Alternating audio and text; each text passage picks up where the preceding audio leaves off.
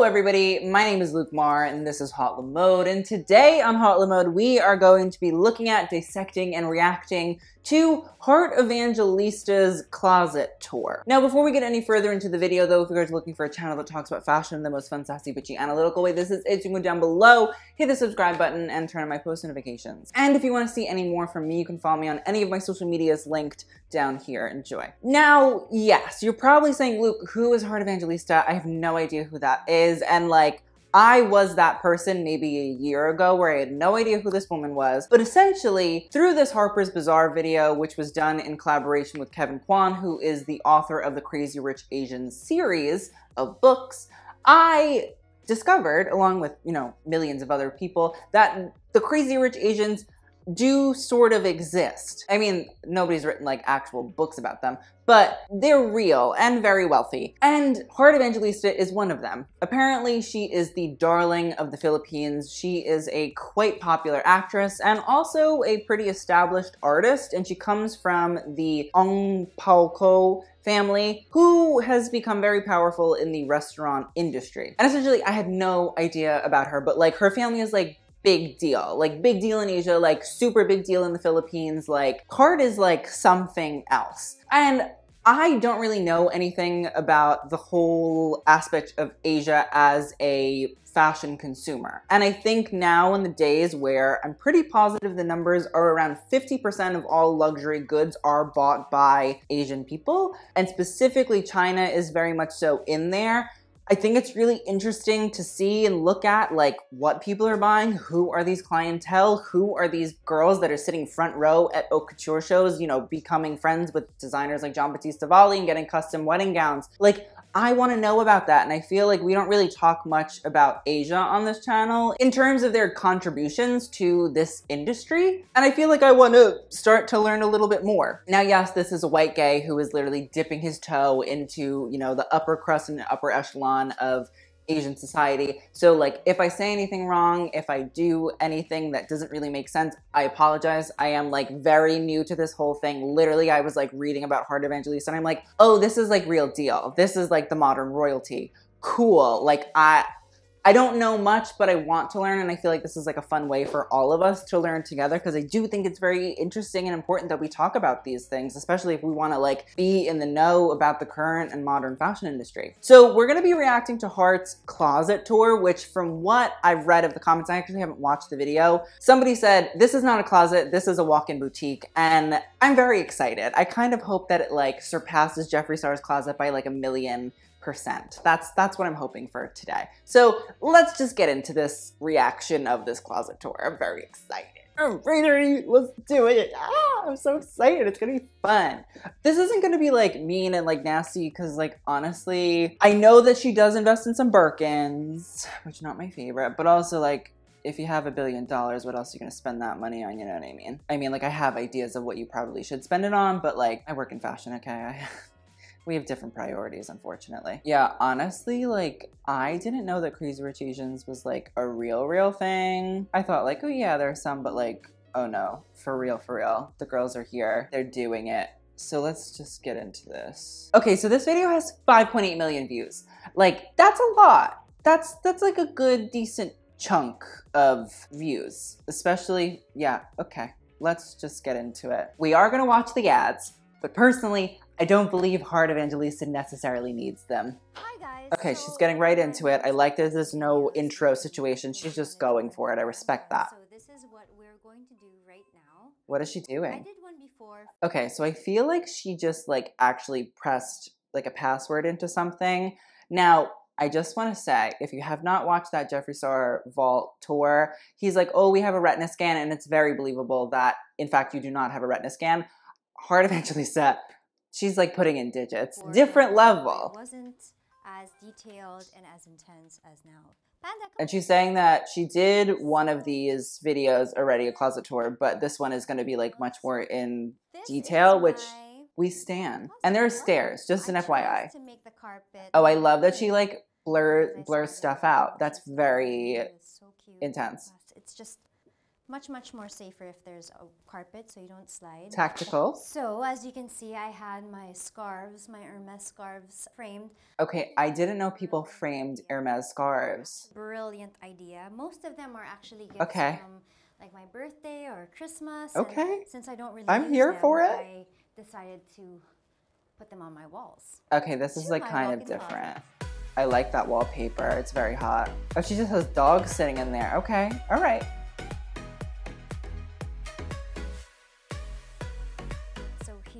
Once again. I like to keep all my blazers and the things that I wear for every day in this Okay. part. I love I her little accent. it It's so cute. Because sometimes it gets confusing. My Okay. favorite would be this top. I love Mark. Oh, I don't know who that good is. Okay, so I feel like she comes from a very like wealthy family, a family that is very often talked about in like the media because I read a whole article and I was like, what is happening? Her parents like had a whole press conference because they didn't like the man that she was dating. And I was like, this is different level shit. But I feel like a lot of her wardrobe is not going to be crazy, over the top, avant garde kind of stuff, which I would love to expect because in that Harper's Bazaar video, she wears like a lot of like runway Chanel or she wears like a runway Chanel look. So I'm wondering if that's going to be showing up in this closet or if this is more so like very conservative stuff because she comes from a family that is more so about not like showing and being over the top and like crazy ridiculous, but more so like, you know, very upper crust wealthy, which normally for a lot of people is much more laid back. You like don't really wear crazy things. You don't want to be noticed because, you know, look at the French Revolution. When rich people get noticed, it's not really great. lace. I just Okay, that makes so, like, sense. neat looking and fresh, especially here in the Philippines. We have such a humid weather. It's nice to be, you know, looking fresh. One of my best friends is from Hong Kong and I don't think I'm I'm from New York, which like gets pretty humid, but from what I understand, that area of Asia is like different level hot, like warm, like crazy, crazy humid and like wet and sweaty. So I respect that. I like a good editor. stuff, but from time to time, I also like to freshen up and set things aside. Some I put in archives. And, or Okay, so like I want to see the uh, archive. Like that's where I want to. I would love to go to Heart Evangelista's archive. of the color I also would like to be a beneficiary of things she gives away. Okay, so this is also another dress that I love. It's one I got from Sandro. Am I right? Oh. Yes, I got it from Sandro. It's a French brand, and I thought she was gonna be like, you know, this is like a Loewe runway piece, blah blah blah. I guess not everything from every high fashion like luxury brand is something that you in, that you want to invest in. describe. It's not Zara. It's higher than Zara, but what I like about it is, you know, it's not very common. But Oh! I don't mind doing Zara. I love Zara. Okay, I was not expecting her to say that she loves Zara. I'm trying to keep things as neat as possible, and yeah, maybe I should have a sale one of these days. Okay, so over. She sells her clothes. I am very interested in the life of Heart Evangelista. I love this dress from Carolina Herrera. Okay. I am making it a must to collect. So She's wearing Carolina Herrera. What did I say about the conservative aspect? Like, the most conservative brand to me is like Carolina Herrera. Like, if you would like to look like an old woman, that's what you wear. There's nothing wrong with looking like an old woman because people are going to call me ageist. I'm just saying, if that's what you want to do, Carolina Herrera is very good at it. I'm working really, really Mmm, hard to buy multicolor. and I also have it in green. Wait, what happened to that jacket? There was a whole ass floral jacket I want to know about, and now I don't know. Colors. Heart, They're mostly some me. of like my nice Chanel jackets. I love Chanel. I love vintage. Yeah, Chanel. rip those So out. This is like a really nice trench. It could oh. also be like a dress. The reason why I like and? I love investing on some brands because you know it's She just said some. something that will There, I- I like this Heart Evangelista. Something that will last you forever. So you could wear it over and over. So I get a lot of questions and a lot Agree. of people ask me if I repeat my clothes. Of course I do. And that's why for me it's important to really buy quality clothes or I have Learn something new about rich people every day. They also wear their clothes more than once. Mark Bumgarner dresses. Who's Mark Carolina Herrera, Bumgarner? Oh. Okay. And I don't know who Mark Bumgarner is, but I feel like now I should like start looking into these Asian brands I don't know anything about because I know that there are quite a few that I am very much so uh, ill-informed on, so I'd like to learn. But Del Pozo is an interesting one. So this island over here, where There's I a whole ass accessories island. Abubuts, and I also have this What did she say? drawer full of my other stuff. What word is Uh, I don't like to keep everything out because I don't like it cluttered. So I just put them oh in my drawers. So when we had this closet made, And she just ripped that open, didn't she? She doesn't give a sure that had shit. A lot of space for all my little stuff. Okay, so here, this is actually where I put all my clothes, the ones that I haven't really used or the ones that I don't want to forget about. Sometimes you forget. So I Oh. put everything here. So I have nice stuff that I ordered like last year pa naman. I'll be honest, I do wish that I had a rack of clothes that I'm like, oh my god, Luke, you really should wear these. Don't forget about these uh-huh. ones. These ones, you know, you just don't wear them. You should totally get into it. Right event to wear it, but it's my favorite. Oh, So little I like to keep prabble. them. Oh, it has a little cape. Let's get in there. Oh, all right. I'm about it. You know what's important? You have to have a dehumidifier here. That, like, A is true. B, that's some like fashion museum shit. Like making sure the clothes are all really dry because if moisture gets in the clothes, it will like ruin them over time. Like the clothing will rot. So Figure out a way to- that's some real fashion archival shit there. I have my perfume. Someone once told me that, you know, in our country it's humid, it's hot, so sometimes, you know, your perfume expires right away. So you need to put it inside a ref. Mm. Oh my god, is that all her perfume? Oh my god, all of that perfume. Oh my god, that's insane. I would cry. My favorite. And I have like a perfume that I use, and if it broke, I would have a mental breakdown. So, like, I can't imagine. Oh shit, these are all the shoes. That's a lot. 21 years of collecting. I've always collected shoes. Why? Because I'm 5'2". There's nothing wrong with being 5'2". Let them know. But I'm just saying is I love wearing high heels. I love nudes. Why do I love nudes? I also love nudes. It gives the illusion that you look taller. Um, it matches everything. So I like to invest on nudes like Louboutins. They're a little pricey, but I mean, you can wear it all the time. Um, more shoes, more shoes. Outfit over here. Oh my I God, put that's that. I usually hot. put my outfit. I plan them ahead of time. I know I like shit on Karl Lagerfeld and I shit on Virginie Viard now, who both are the designers for Chanel, but like a Chanel tweed is a Chanel tweed, and So this is you know, they usually look pretty good. I'll show you more of the shoes. Surprisingly, this is actually the best one to walk in. Oh, like, Gucci hours. plaid. They have it in beige, and uh, fortunately, I wasn't able to get it in beige. But this is super comfy, although it's chunky, so you have to really. I like the Gucci with The kind of outfit that you wear it with, so you don't look chunky or like it elongates you. So it's a mix of the length of your outfit or whatever. And this Oh. one is, for me, I think. Actually, I don't mind those that much.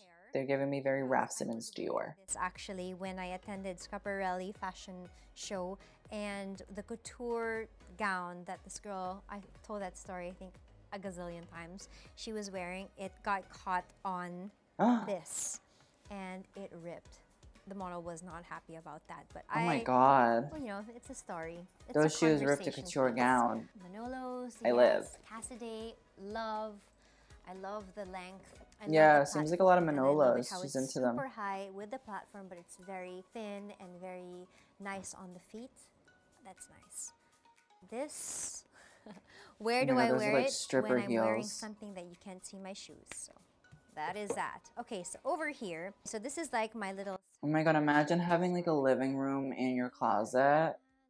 I would die. And also, we haven't seen the bags yet. That's something I'm like very interested in. Is this room is actually gigantic when I think about it. Like it's a big L, but also like we haven't even seen the bags. I don't even know where those are. uh, where I have my OOTD Oh, shit, she has a bathroom. Okay, so this is the area where I do my OOTD shots in front of. I'm sorry, like don't mean to be vulgar, but imagine you're like taking a shit and like you get a look at a Chanel sequin jacket because you own it, like that's what you get to look at. Like honestly, forget TikTok, YouTube, don't know her, like Instagram, what? I just want to look at a Chanel jacket while I go to the bathroom. Oh, she has a whole ass. It's like a whole ass bathroom.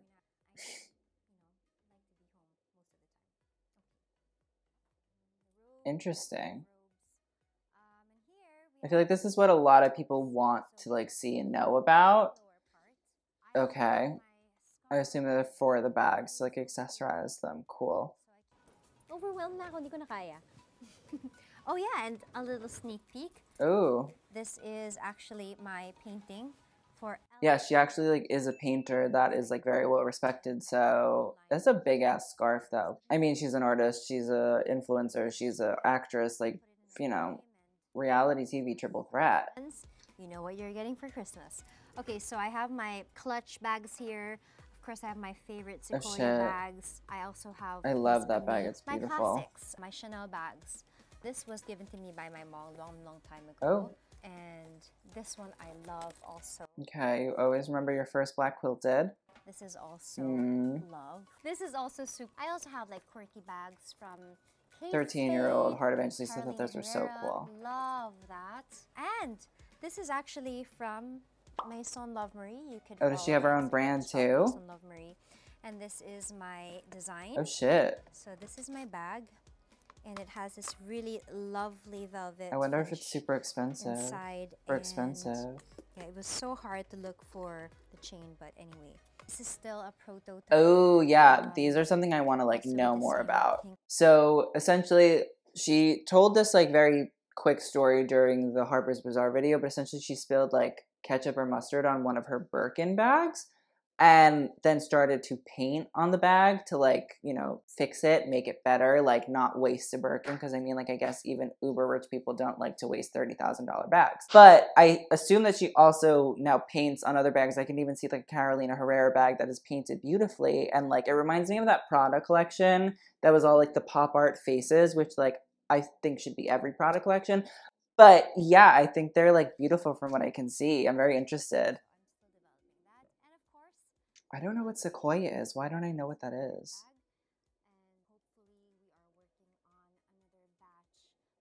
Interesting. Shit, there is more. Oh my god, this is gigantic. Oh shit, are we getting to the Birkins? Again, I will reiterate, I said this in like my Jeffree Star closet tour video.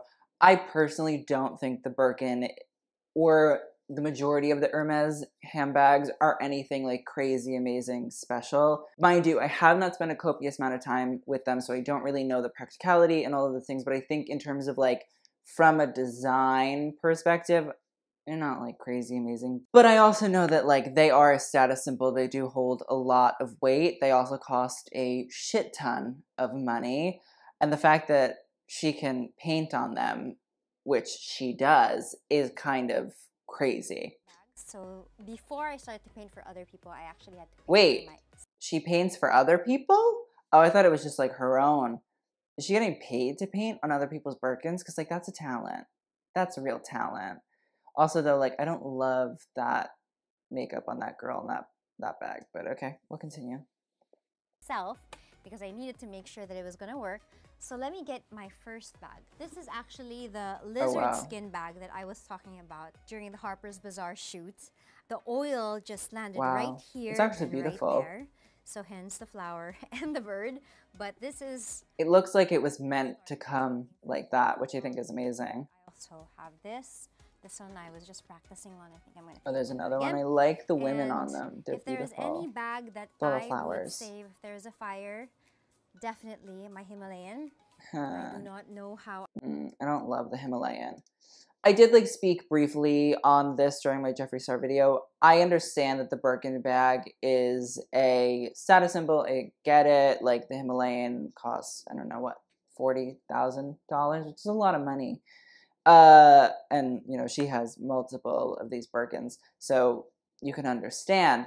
I personally don't think they're crazy amazing. I I would never really buy one for myself unless it was one that I think would I would buy to have for like an archival piece or something like that. But I would never buy and be like, oh my god, I have May Birkin. Like I understand why people buy them. They are a status symbol. They do represent a lot. But I also don't think that they're the end all be all. And I think if anybody has a Birkin and they're like, you're terrible, you're awful, I have a Birkin, you don't. Yeah, the Birkin doesn't really make you any much better than anybody else. That's my opinion on that. I can buy this again, but it was a good investment. So eventually, if my daughter, they want to auction the bag when I'm 102 and I'm not here anymore, this is the bag. Shit. This is also very cute. This is from Purse, Purse Pop. It's a line that she made. I love it because it looks like a little mosquito bag. But it's just like a jacket, so you could just put it like that. Oh. So if it's raining or you rainy, It reminds me of those Moschino bags that were the leather. Those were really cute. I love those bags. Still love those bags. oil french fries thing to happen again. This is what I like to put instead of putting it um, inside a plastic bag. But you know what? I also read, if you guys do not know, that there are people that are so rich that when they carry their like Birkins, like these handbags, they'll put them in like plastic bags so they don't get like wet. I do actually believe that there's an industry that is starting to come around to shield these bags from being damaged. So like there's a bag industry for a bag industry, which like intense. Actually, just bring like a really cute nylon bag. um, See? that you could roll up. You buy in the groceries, and I put it in my bags when I travel. And I think So her closet is also her office. Interesting. So that is the end of this closet tour. So I obviously have opinions. You know me. When do I ever not have an opinion? So to wrap up this whole video, I do think that I was expecting maybe a little bit more. I think I was expecting like a Jeffree Star kind of situation where it was like very recognizable pieces, but I feel like maybe that's not how she spends her money.